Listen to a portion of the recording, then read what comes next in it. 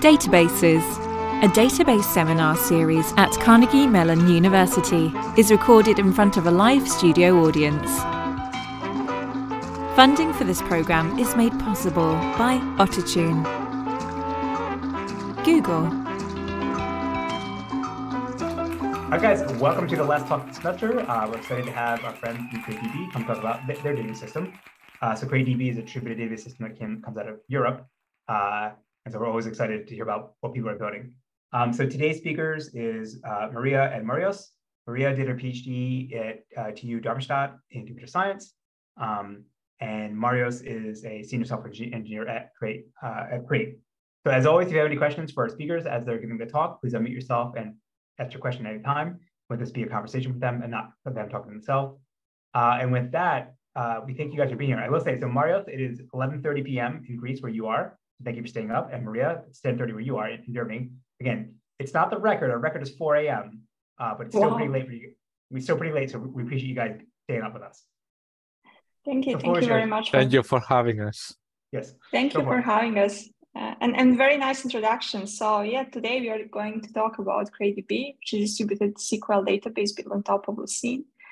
And as Andy already mentioned, so let's um, let's introduce us as the speakers.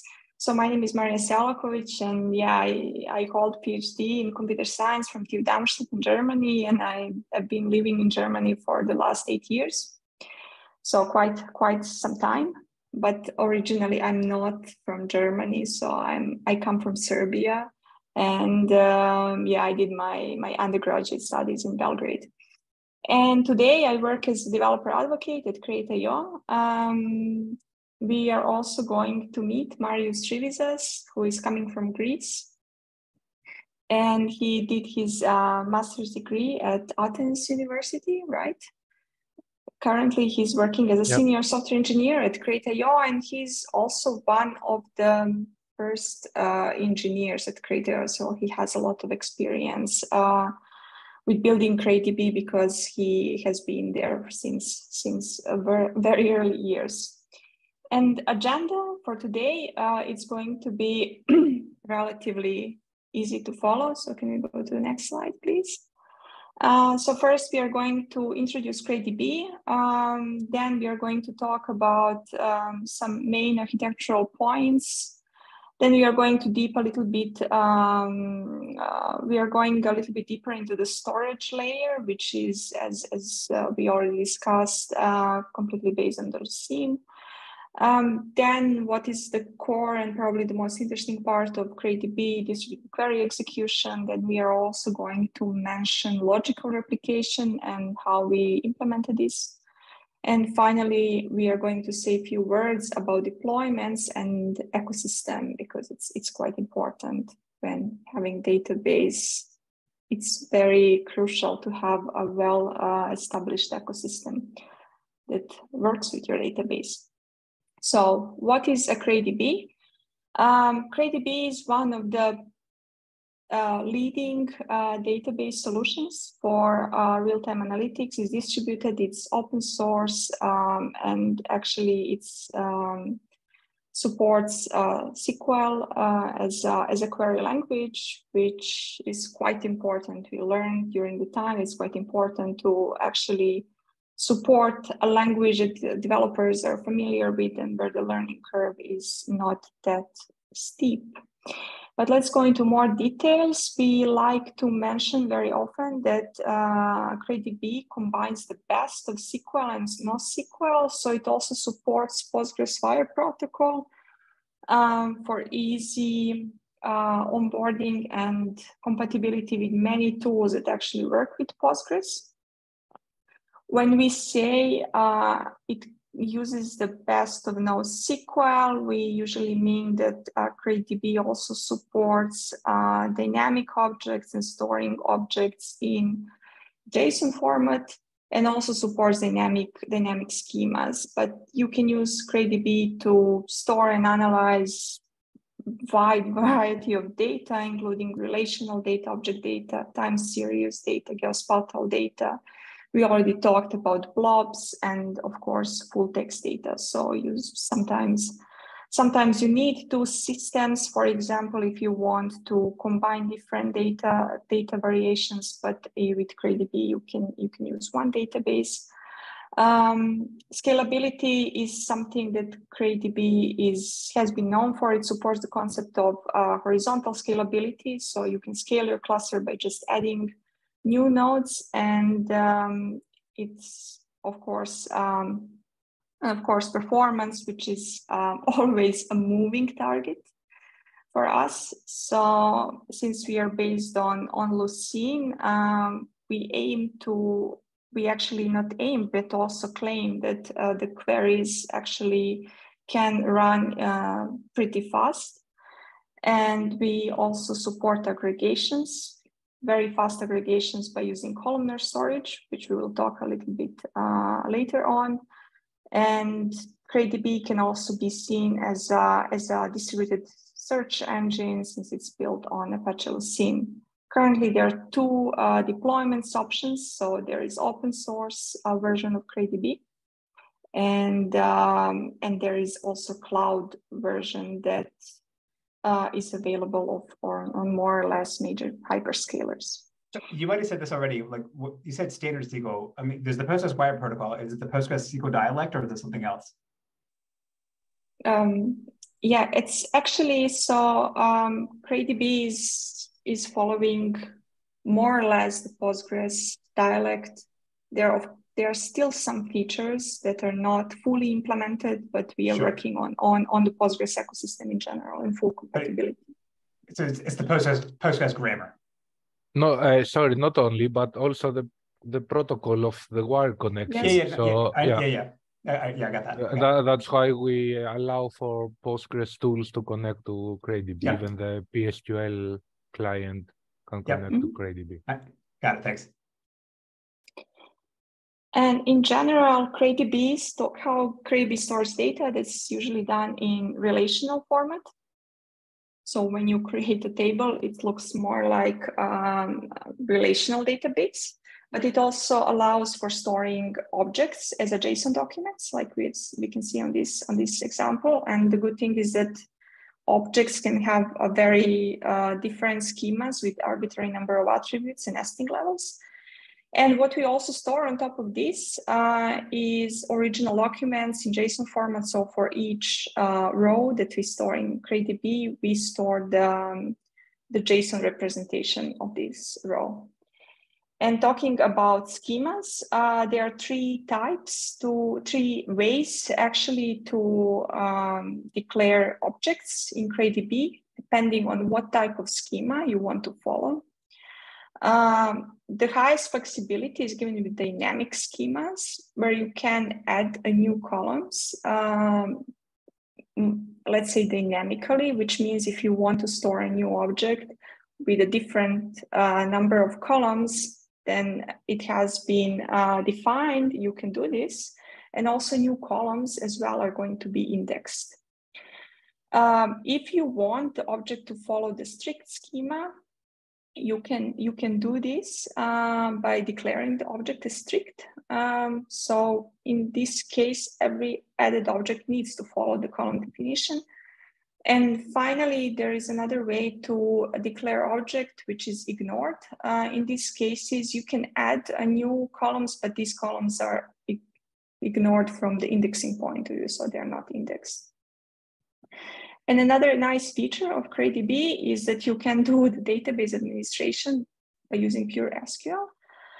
Um, so there are some um, there are some tables uh, like PG tables that are, that are available, but also information schema tables where you can find uh, data about uh, existing tables, partition, partitions, constraints, and columns. Um, and not only that, but also system tables that you can query for, for example, finding out what are the running jobs, uh, what are the finished jobs, uh, information about your cluster and shards. And there is a simple way actually to stop uh, stop single or um, all jobs um, on, on, a, on, a, on a node. So this is a cool feature in CrateDB because you don't need any um, new knowledge actually to the database information. So you can just you can just use uh, SQL as a, as a query language as well. And uh, finally, I think it's it's important also to mention when it's a good what we consider a good uh, use case uh, for CrateDB and what we don't consider a good use case for CrateDB. So in our experience, we've seen that CrateDB is very good database for time series data, especially IT data or industrial time series data. Uh, then in cases when you need fast queries, aggregations, full text search, SQL as a query language, volatile data. We also support logical replication uh, compared to many other databases. We have hybrid deployments um, that can actually be um, implemented uh, on, uh, on Kubernetes cluster that for example, runs in some specific regions. And CrateDB also comes with the promise of high availability and scalability, but it's not a good database if you need transactions. So transactions are not supported. If you have highly hierarchical normalized data models, uh, so CrateDB supports joins, which is also a good feature, but joins in a distributed settings is a very expensive to execute, and we are going to see how we actually tackle this issue. And in case you need foreign, foreign keys, uh, CrateDB is not, is not a good database. So let's go to the, to the next topic, which is CrateDB architecture and the main overview. And I'm giving the word to my colleague, Marios. So hi from me as well. Thanks a lot for joining this session. And let's uh, talk a bit about the general CrateDB architecture. So as we have uh, stated already, uh, uh, CrateDB uh, is uh, it's very easy uh, to to scale with it because it has a shared nothing ar architecture. That means that every node of the cluster is equal to each other and can perform exactly the same tasks. Uh, so there is no single point of failure, and if uh, any node fails, then some other can take over uh, its jobs, and the cluster can continue working uh, in a healthy state. Um, apart from that, you can uh, scale uh, as your data grows or your requirement grows regarding performance or number of clients querying or inserting to the database by just adding more nodes to add more uh, space, storage, more memory and more CPU power. And the moment that you add a new node to the cluster, the existing tables that you have defined, their shards are automatically rebalanced in the cluster using the new nodes added. So you don't need to do manually anything to uh, uh, rearrange your data across the cluster uh, when you double the number of nodes, for example, or even if you add just a couple more of them. Uh, just to say a, bit more, I, I, I, won't go into details of that, but there are uh, much more complex uh, configurations you can do. So there are nodes that have the uh, master coordinator role in the cluster, and uh, maybe you have all the nodes be able to take that role, but also you can configure that only a subset of the nodes that maybe don't even have uh, much storage space and they just do the coordination, take the role of the master, and then you have data nodes. You can also have uh, only client-only nodes, which uh, responsibility is basically like a load balancer to service the clients in front of the actual cluster performing the operations. We have a question from the audience, Kevin. Go ahead. Yeah. Yeah, so my, my question is, um, within a single node, uh, is the architecture also shared nothing? Uh, or um, does every like physical CPU core and OS thread get its own independent like buffer pool and memory? Uh, or is there a shared memory architecture where, where uh, for a single node, all of the memory is shared across them?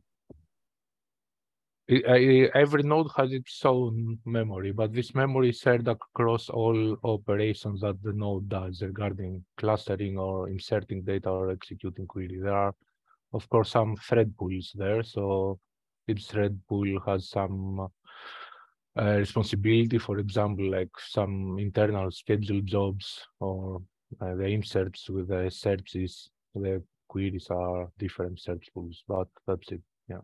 Got it. So it's one big like buffer pool and one big application level scheduler per node. And that's shared amongst all the, the threads and CPU cores that run on that node. Yeah. Okay, exactly. understood. Thank you. Yeah.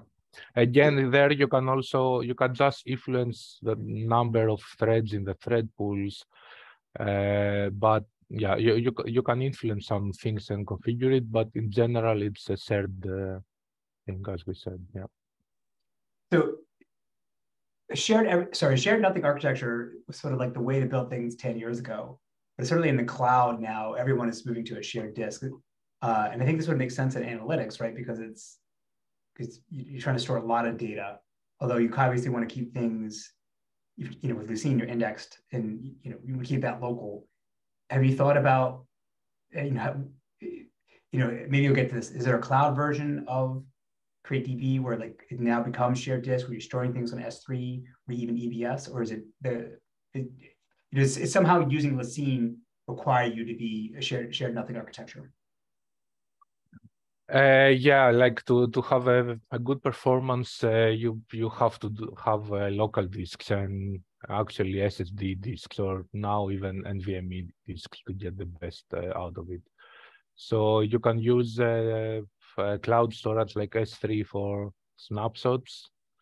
And we have this idea to uh, be able also to, to search on those snapshots on S3, uh, to have slow searches, of course, on, let's say, archived historical data to give this opportunity, but definitely you don't get the performance you get with the Lucene on your local disk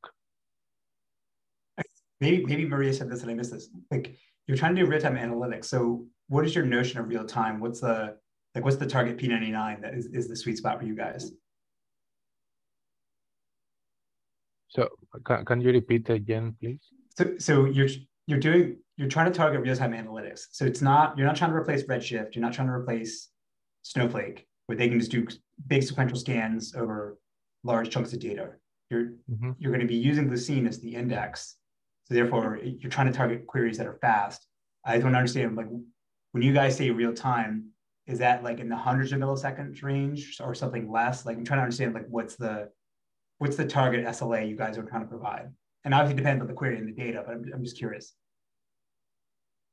Um, yeah, that, as you said, it depends on the situation. How, how first of all, um, what is the throughput of inserts and updates you want to support together with the real time because of course when you increase uh, the throughput that you're going to get then you don't see the, your data immediately there is this mm-hmm. concept in uh, in lucene uh, the refresh rate the, the refresh um, uh, time so the data that you insert becomes available after let's say one second or 10 seconds or 100 okay. milliseconds so it's something that you configure but the less you configure it the the more you decrease the performance of inserts and updates, of course. Okay, awesome. Thank you.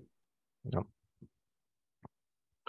Uh, so, um, yeah, as, as, an overview for the stack of the architecture, what you will see in each of the CrateDB nodes, nodes, and let's start from the bottom. You have your clients that connect to the cluster through either the HTTP endpoint or the SQL, Postgres SQL wire protocol and each statement, either it's the DML, DDL, or administration statement, uh, goes through the parser. The parser, of course, parses the SQL and validates the, the syntax there and creates an abstract syntax tree, which is then passed to the analyzer, which knows a bit more about uh, the tables that are available, the columns, the privileges, and so on, and does uh, semantic processing, checks data types and all these things that you can do before runtime, before the actual execution, I mean. And then it passes it to the planner and optimizer, which has several stages. So first you create a, we will see it later, but first you create a logical plan, you optimize it, and then an execution plan, and then you actually send it to the uh, distributed execution engine of this, this node that you have connected, uh, which will in turn uh, use its uh, local Lucene storage to store locally things and also uh, transport data and requests to other nodes in the cluster to fulfill your statement. Uh, so regarding, yeah. Sorry, uh, so going back, the is the query optimizer is that written from scratch, or are you guys relying on Calcite? No, it's written from scratch. Got it. Okay. Um, and it, do you know whether it's like? I mean, are you doing cost-based search? Uh, we do some basic uh, things at the moment. So we do some ana uh, anal analysis on the table to get statistics regarding number of rows and like average uh, length um, of every row in bytes to to decide for some things. Yeah, but uh, it's not uh, sophisticated. It's not sophisticated. It has some decisions and some optimizations, uh, especially in the subquery area and joins. Mhm. Uh, but we will see also a bit later about filter push down and limits and so Okay. uh, maybe you can hold a bit the questions and ask me. Okay. All right. Thanks. Uh, so um, when it comes to node-to-node communication, then there is one more protocol, a network protocol for CrateDB. We call it transport protocol, and it's uh, uh, dedicated to um, communicate requests and data between the nodes. And you can also enable encryption for each one of those protocols. So only for Postgres, only for HTTP, only for transport, for two of them or for all of them. And the configuration uh, is uh, done via host-based authentication. You can use trust and certificate authentication methods.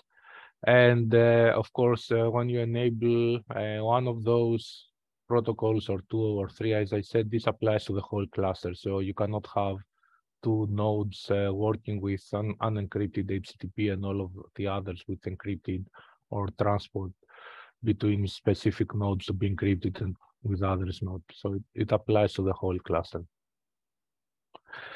So next, uh, we will talk just a bit about the storage layer, which is Lucene. So um, when you uh, define a table and you start inserting data into it, then all of your data gets indexed by default. Uh, you have the possibility to disable uh, indexing for uh, certain fields if you uh, never gonna search by them to uh, gain some speed for inserts updates and also some uh, space.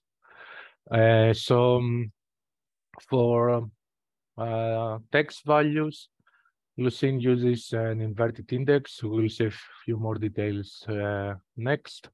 And for all numerical values, and including all types like timestamp, geopoints, geoshapes, that internally they use numeric numerical values uh, using block KD trees for the indices.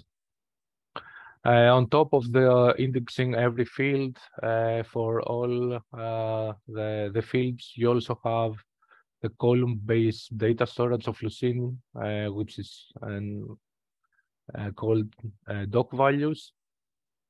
And this is what provides uh, very fast sorting and aggregations. And currently you can disable these doc values columnar storage only for text fields, uh, but not for numerical. And we are planning to do it soon. It's in our radar to save even more space for fields that you don't need it. Uh, so let's talk uh, a bit more about the uh, text index. And first, we'll talk about the full uh, about the anal analysis of uh, full text index, which comes first. So when you have a large document before you start uh, indexing it, you need to split it into tokens. Um, then uh, you have to uh, maybe apply some uh, filters on those, to those tokens and maybe also on top some character filters. So all of these components uh, uh, uh, comprise, sorry, I'm missing the word, the analyzer and uh, there is some standard uh, analyzers that you can use, but also you can define your own. Uh, you can define your own tokenizer as well and combine the filters that you want to do your job. So I will show just an example of um, the standard analyzer uh, for English. So first you just split all your the tokens with the white spaces when you get the words then you just lowercase everything. And the other thing is that you remove the remove the stop words like the end and words like that that uh, are not useful when you're searching for. So uh, next uh, we will see how now we index this data. So before we see the, the tokenized version, uh, le, let's see what happens when you have uh, defined a normal text index without uh, analysis step before. And in our table, you can see this uh, model field and you have almond milk, almond flour, and milk. And these texts with the plain index does get indexed uh, as a total phrase, as the whole string, and you just point to the document IDs that this uh, phrase can be found in. But uh, when you are using the full text, then you have done the tokenizing analysis filtering and everything, you can see that uh, you have the, your uh, token split and you see that the token almond uh, you, it can be found document IDs one and two and milk in one and three and flour only in document two. So in this way, when you start searching for terms like that, you can very fast uh, refer to the documents that uh, uh, those values can be found. And on top, of course, with Lucene, you can do much more complicated things with phrase searching and fuzzy logic and wildcards, prefixes, suffixes, and so on, and scoring. So you can use uh, uh, you can define how the documents that you have matched are returned in an ordering regarding which are the more relevant to your query. And for the doc values, as we said, is sort of the uh, columnar uh, storage of Lucene, and its numeric uh, value gets its doc values index uh, so basically what happens is that uh, you have uh, you can very easily and quickly access all the values of a certain field like the quantity here and you have them related to document IDs and uh, what makes it fast is that uh, you can have a query that you filter out things and you decide that this is a subset of document IDs that match my query and then directly you can get a very fast iterator over the the values of the quantity field over the IDs that you have pre-selected, pre-filtered. And also you can uh, do very fast uh, um, aggregations of numeric ones like averages, sums, min, max with that. Um, so like, for all yep. for, sorry, for all those things like the like the sorting, the the sorry, because maybe, maybe query execution is that being done by Lucene or like is that done by Crate? Like is is Crate like Crate's gonna do a query, say it's gonna do a sequential scan or something, right? Like on and the data is in Lucene.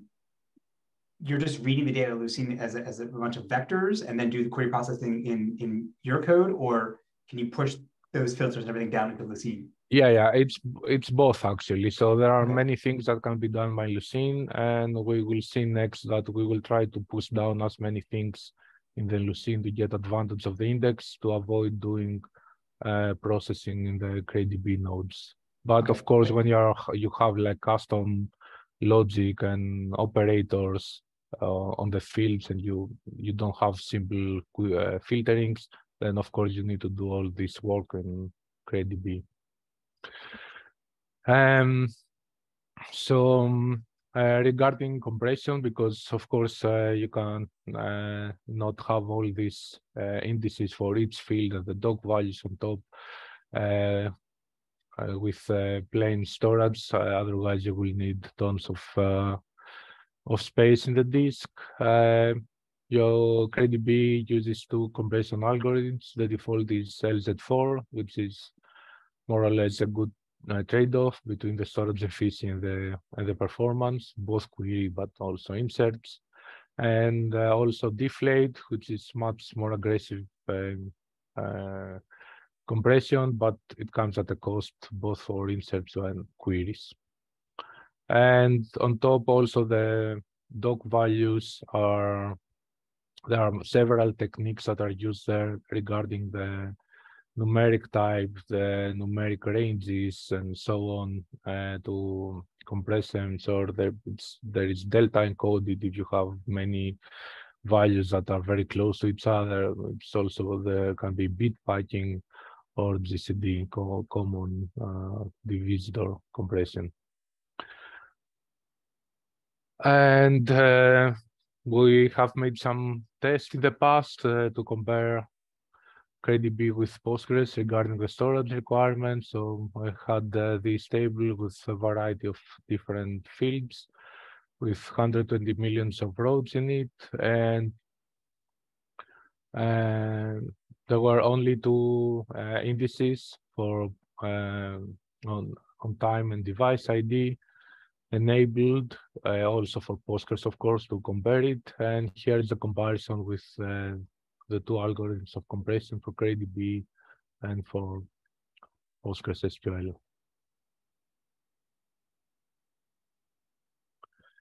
And next, uh, we will talk a bit about the query execution engine and about plans. So um, uh, as we said before, uh, after the analyzer, we go to the planner, and the first fair, uh, step of the planner is to create a logical plan. And we'll take the very simple query uh, here, like the select name from users. And for every uh, query and statement, basically, you can add the uh, explain prefix, and you can get the logical plan for it. So we just select uh, here a field name from the table users, and this uh, translates to a logical plan, which is uh, operation collect. So this is to go to Lucene, to the users indices and retrieve the name. And the true here is the filtering because there is no filtering. So basically it's return everything. Um, so if we just add uh, uh, a plain filter in the word clause where name equals a, a, literal string name, then you just see it uh, being added here. And this is uh, the query expression that it's pushed down to Lucene, to the indices, and translates to a Lucene term query in order to return the documents that you want. Uh, so um, uh, as we said before with your question, um, we try to filter, to push down uh, all the filters that we can down to the Lucene level to take advantage of the indices. And a simple example here, when you have just a subquery, a nested query, and you have uh, filtering on the age in the inner one and a filtering on the name on the outer one. Then the logical planner can combine it uh, with an end and create a, a Lucene terms query again with an end and get advantage of uh, the index.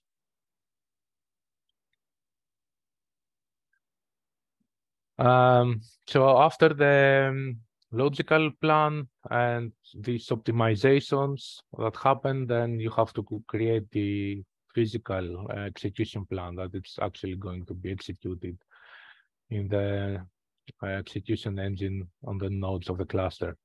So the logical plan we have seen before, even with the optimi optimization, uh, doesn't know anything about uh, the data distribution at this point. So doesn't know where your shards are located because normally every ta table you, you will have at least three nodes, let's say in your cluster for redundancy and to sustain uh, a failure.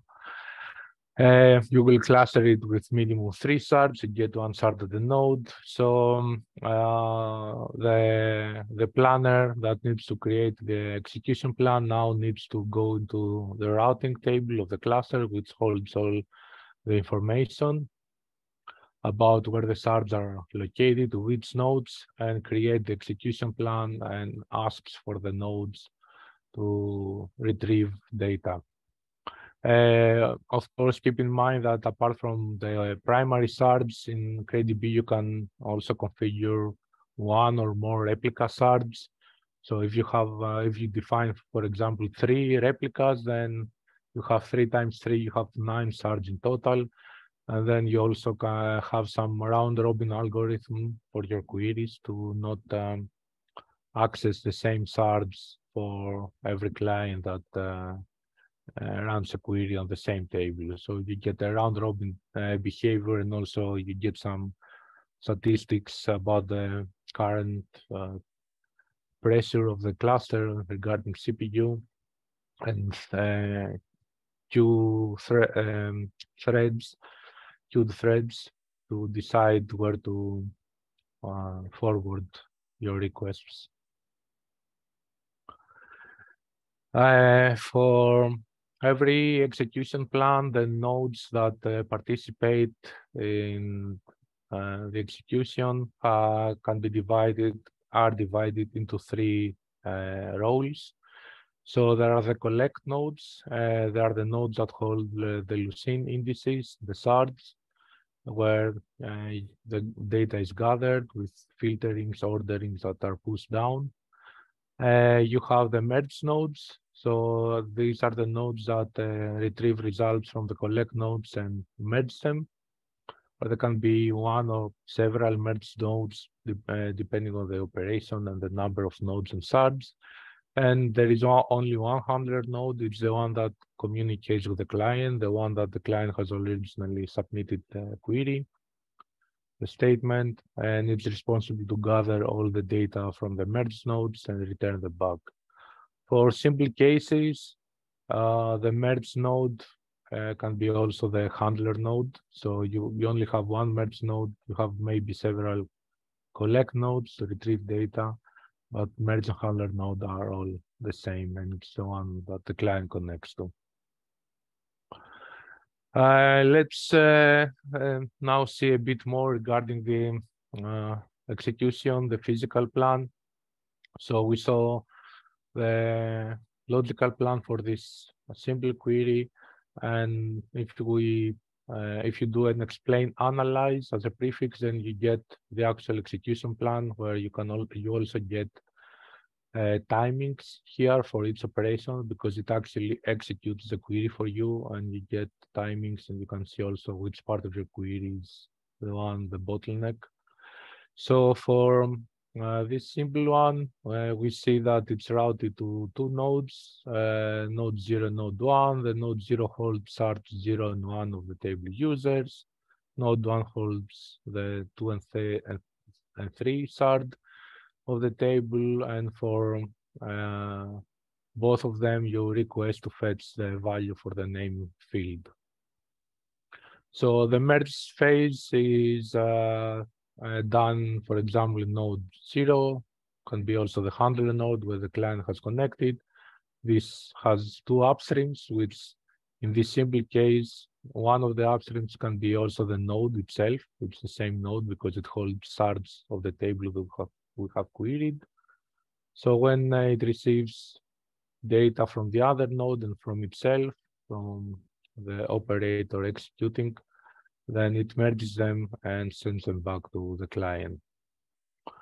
Uh, now let's see a bit uh, just a bit more complex query when you have an order by and a limit.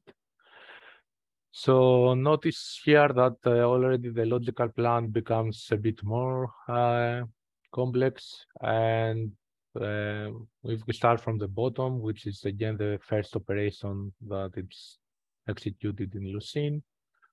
For the um, users table, now you request the special uh, internal field called fetch ID together with the ID.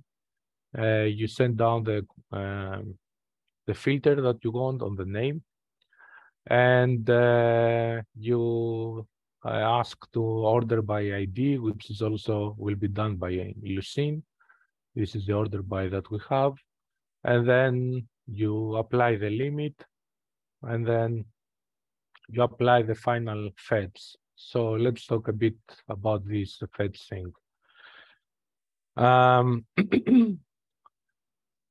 since yeah, you can have tables with many fields or even a few fields, but very large fields like texts or geoshapes and things like that, uh, it's important that you don't send, uh, you avoid sending around data that it's not needed. So when you are executing a query like that, instead of returning back the fields name and names that you have requested, uh, you ask for Lucene to generate this internal fetch ID for each of those documents. And this uh, fetch ID, it's um, uh, somehow combination co encodes the shard as well together with an internal document ID. And I, I don't mean, uh, sorry, I don't mean this ID, which is a field we have defined, but an internal document ID. So when uh, uh, you have applied the limit because you don't want to return like 10,000 or 10 million rows, but only 50, then you have the fetch IDs that you want, and then is where you go back to the to Lucene, to the nodes, and you execute the fetch operation to retrieve the actual data for these um, fetch IDs. And uh, just uh, to, to say a bit more about this uh, limit, uh, you can you see that when you have a limit of uh, 50, then since you have many shards, you push this limit to all of the nodes. So you get 50 nodes for each of them. Uh, they are ordered. And in the merge node, you just keep the top 50 to return back to, to the client. And since we are with the questions, yeah, we're a bit uh, over time. I will go a bit quicker through the joins. So uh, supports joins. Uh, the default algorithm is nested loop. I don't need to explain more about nested loop. It's very clear to all why? of the database. Why? people- Why the, the default join algorithm is nested loop? Yes, because uh, we uh, we haven't invested a lot in the joins. We will see next Okay. about the hash join. Uh, Okay. So the default for to support all cases where you have complex join conditions with you know greater, uh, less, and not uh, equi joins, uh, um, you have to go to nested loop. We haven't implemented any sorted merge or uh, this kind of algorithms uh, up to now. Uh, so even for the nested loop, we have a distributed logic there. So we have several nodes executing the nested loop.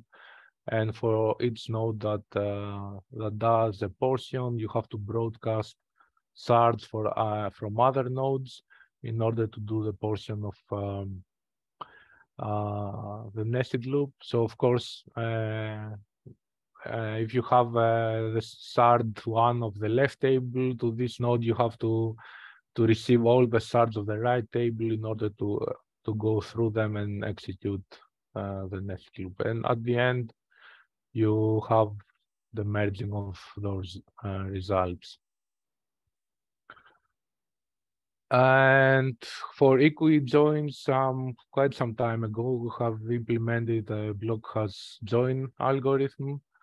So you have the first the build phase where you try from the sorry uh, from the stats, as we said uh, earlier, that you have, you uh, scan the smaller table in terms of memory that it will use, uh, and you create hashes and you store them in the hash table, and then you probe all the rows of the of the other table using this um, this hash table. And of course, you are using blocks because maybe if uh, your table can be small but not small enough to fit in the available memory. So uh, you might need to have multiple blocks and build multiple hash tables uh, to to be able to fit um, finally the table to the memory. And also the block hash join uh, is can be executed in the distributed fashion. So what happens is that uh, beforehand you do a hashing and a modulo on the rows and you distribute them to the nodes that you have decided to execute the block hash join. And every node receives the rows that uh, potentially will match. The, it, it, it cannot miss any rows with this initial hashing. And then each node performs its portion of the block hash join, and then you have the merge phase where you merge the results. And for all these um, operations, uh, supports two methods of communicating data between the nodes. So you have the direct response and the paging.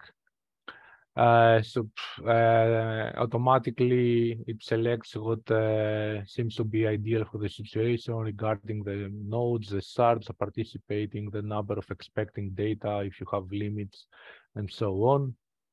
And uh, you can see it basically in this graph that when you have a direct response in this communication, let's say that node zero receives the initial query from the user and needs to send a request to node one to get data or execute something.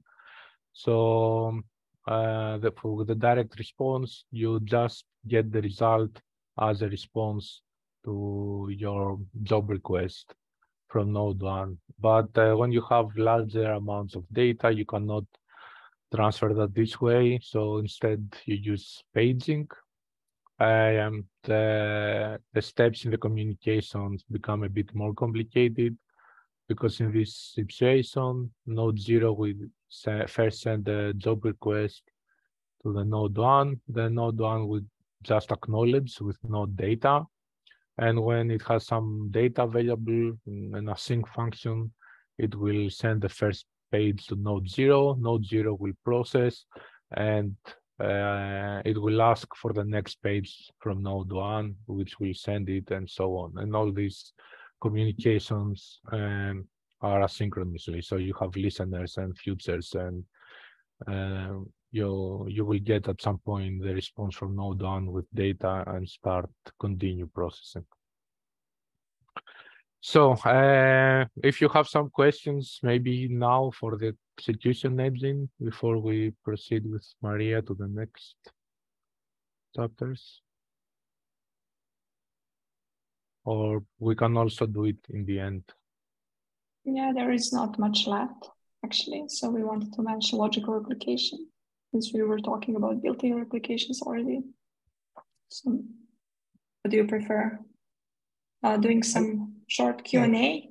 Yeah, I said keep keep going. We'll do Q&A at the end. Oh, okay, awesome. Oh, so logical replication. So we, we were talking about built-in replication on the shard level, but also CrateDB allows you to replicate um, tables or subset of tables from uh, one cluster to another. It follows publish subscribe model where publishers are clusters that make data available through publications and subscribers are clusters that actually receive data and not only data replicated, but also uh, the operation Operations such as inserting, deleting, updating, and, and changing schemas are also replicated to the, to the subscriber cluster. So syntax is relatively simple, also follows um, SQL. Uh, so can you go to the next slide? Um, so you create publications by specifying whether you want to create to make this data available for all tables that are on the cluster, only for subset of tables. And during this process, you are you don't actually uh, you are you cannot do aggregations. Um, on on the other side, you can create subscription that actually make a connection uh, to a publishing cluster. And uh, you can also specify currently one parameter called enabled, um, which actually says whether you would like your subscriber to be actively replicating. So, and currently the data on subscriber cluster are read only, so it goes only one way. And we have seen a couple of interesting use cases for uh, this, uh, this feature, which has been available since, I believe, May or June this year. Um, the one is actually for improving one use case aims to improve data locality. So I imagine that you have one central reporting cluster and you want to make data uh, closer to the to the applications that are actually uh, using this data. So you can, for example, uh, replicate the data to the regions, to the clusters residing in regions that are closer, closer to application data. And in this case, uh, actually you can achieve, we can achieve a much lower latency because uh, the data you need for your applications are, are actually closer to you. Uh, another interesting use case um, is something related to the to the analytics. And can we just uh, mention this quickly on the next slide? So in this in this use case, uh, we are actually allowing um, replication of data from different distant regions to one central reporting cluster.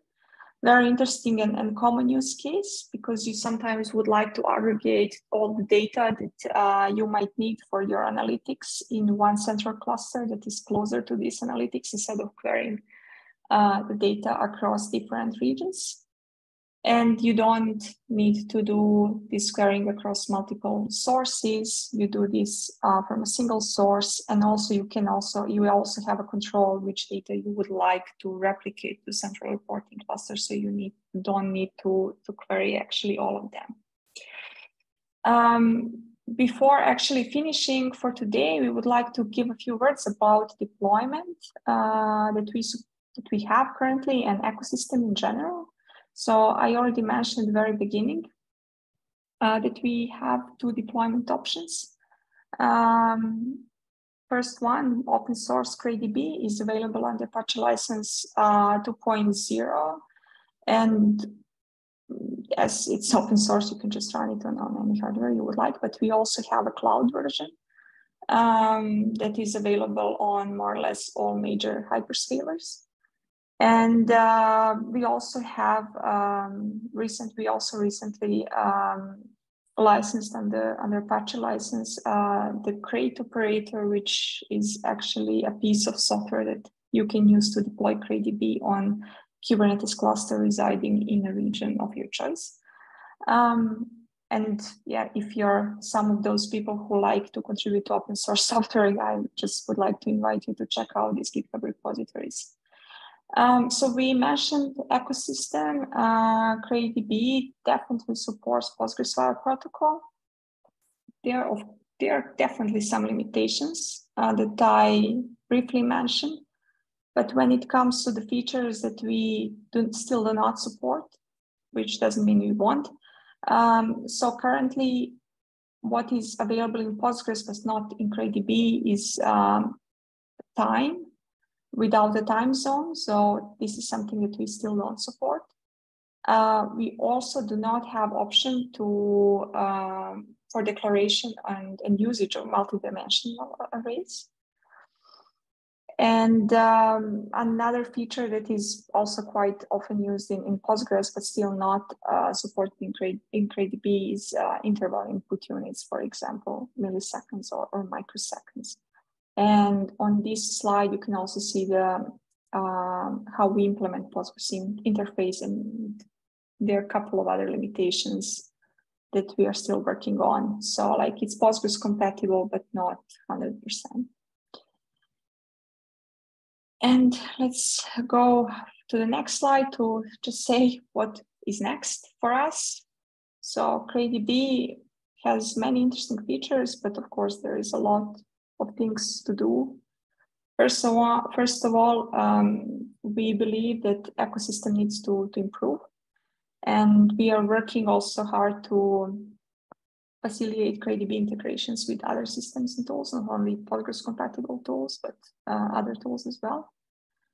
Um, we also have we didn't didn't mention in this in this presentation because uh, there was no um, time. Um, we CrateDB has a functionality to uh, read data from external file system or local file system and to write as well.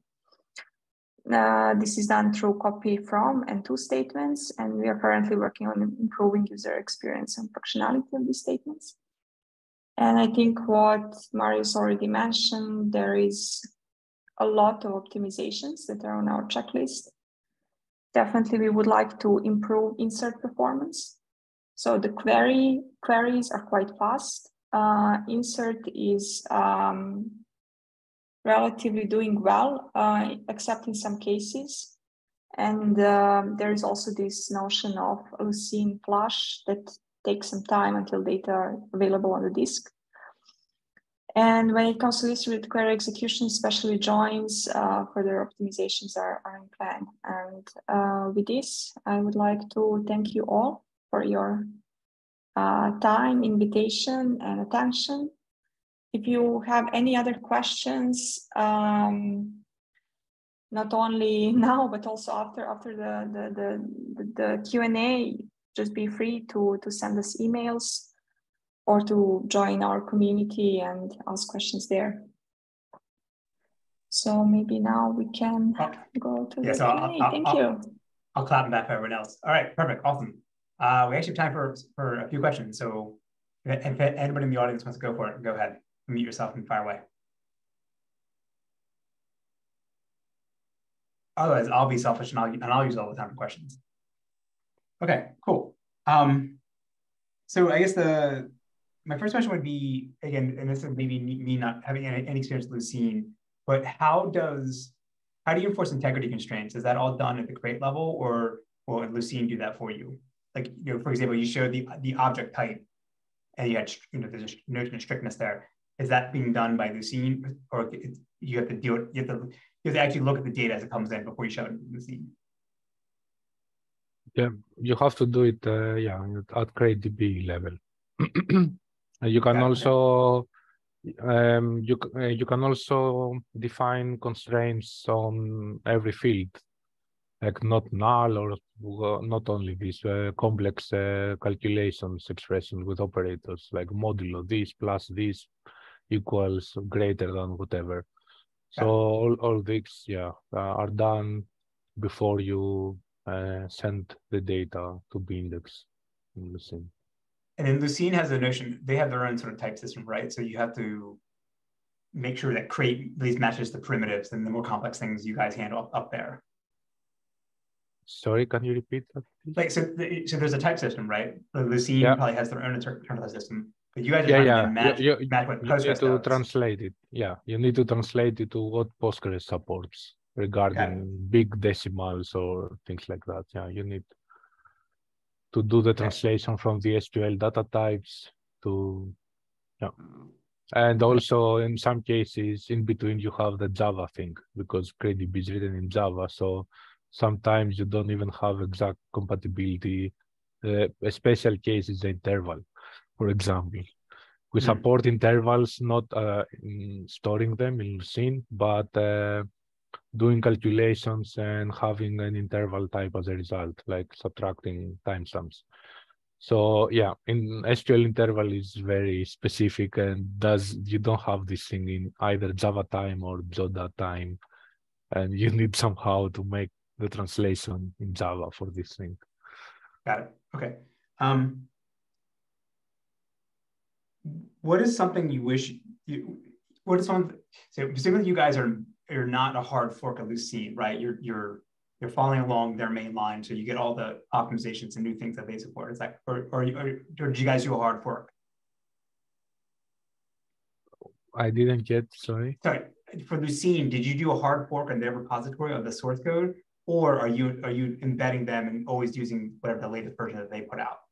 Ah, uh, yeah, no, we are we're using the the latest version. but okay. Yeah, yeah. We, so we use it as a library, as a dependency. But yeah, yeah. yeah. of yeah, course sorry. we have some some classes that we override when it comes to this data type mapping thing that you mentioned. Yes. But yeah, mainly we just uh, update and uh, you have to adjust in most cases just uh, small parts of the code to adapt to the new version and the new features. Got it. So okay. it's quite backwards compatible. Then you need to see if the new features somehow you can use them now and push down more filters, the queries or yes. yeah. So what's up? Is there anything you if, if you could change one thing of Lucene to make CrateDB better? Is can you can you is there something you wish it had that it doesn't have now? Mm.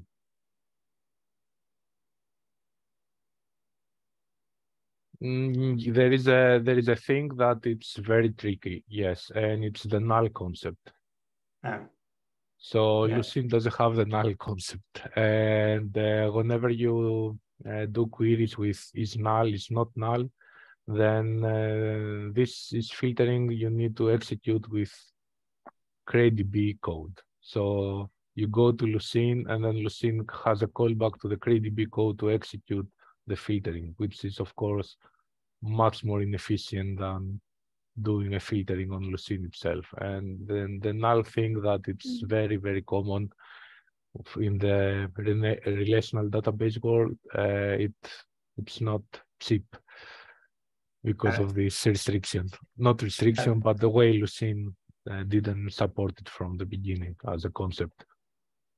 And this flash actually is the same flash that makes uh, data available on disk. Sometimes is maybe taking quite some time.